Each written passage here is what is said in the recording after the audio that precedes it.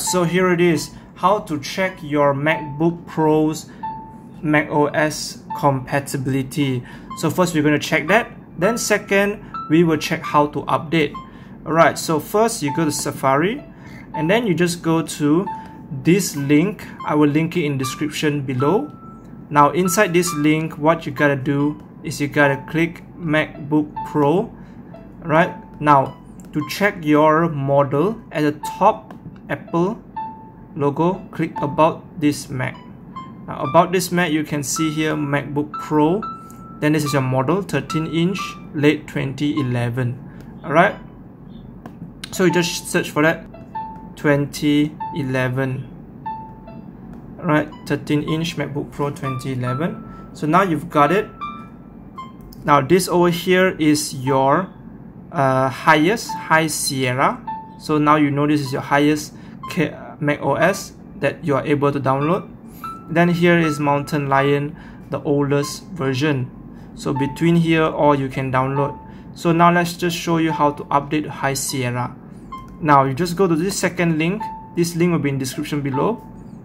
Then inside here you can see all this how to get old version blah blah. And here is to download mac os to choose whichever you want. So let's go with high sierra just click on the link and it will automatically open the app store. Once open it will show you this. Now at this side it will show you to download. And once you've downloaded it it will change the status to update. So just click update. You can see the bottom here. Install mac os sierra. If it doesn't open up just click that. Then you press continue. After that you just click agree then you click agree then you just choose you want to install on the disk untitled you can show all this or just leave it then you can click install and it will start installing the new Mac OS High Sierra.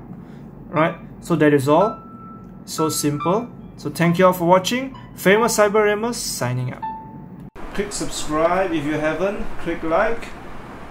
Go to the end of my video and click the playlist.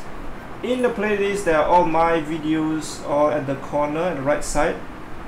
So thank you all for watching.